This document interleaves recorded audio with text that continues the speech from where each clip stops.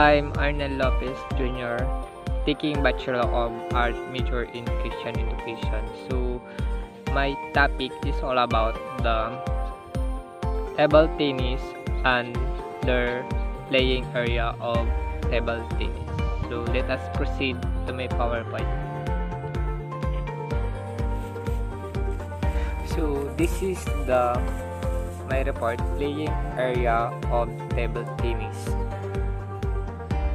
Playing area of table tennis. A competitive table tennis table should measure of 2.74 meter or yung 9 feet long. And then 1.52 meters or 5 feet wide and be 76 centimeter or 2 feet and 6 inches height.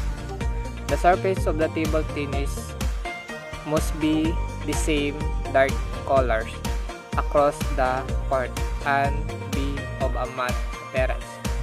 The net is 15.25 cm or 6 inches height and extended of 15.25 cm centimeter or 6 inches past the past the end of the table. The competitive table tennis ball should bounce 23 cm height when dropped from the height of 3 ay 30 cm.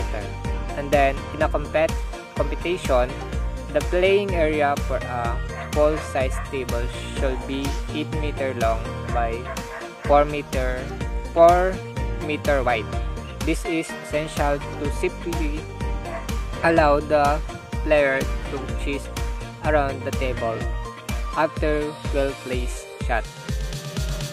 So this is the table light. The net extension yung nakikita nyo po na parang extension ng net doon sa table tennis. It is 15.25 cm or 16 feet in past the end of the table. So, nakikita nyo po yung parang sobra dun sa table tennis. Yun po yung sukat niya. So, may sukat-sukat po yung table tennis.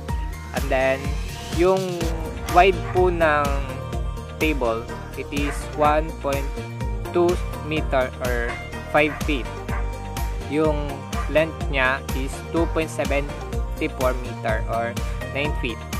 The net height is 15.25 cm or 6 inches. So, yung taas po ng net is 15.25 cm. Yung height po ng table, it is 75 cm or 2 feet or and 16 inches. The ball was 3.8 cm or 1.5 inches yung laki ng ball. So, this is the example of ball, bola ng table tennis. And then, ito po yung racket. so, this is the end of my report. Thank you for listening and have a nice day.